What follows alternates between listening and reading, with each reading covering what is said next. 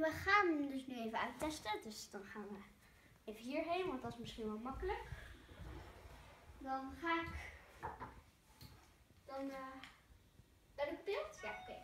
Ehm, dan ga ik hier zo staan en dan vliegt hij denk ik daarheen, hoop ik.